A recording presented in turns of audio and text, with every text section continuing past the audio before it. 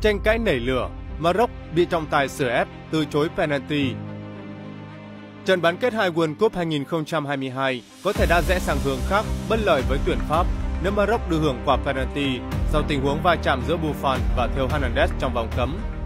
Cụ thể phút 27, Sofian Bofa ngã trong vùng cấm sau pha va chạm với Theo Hernandez.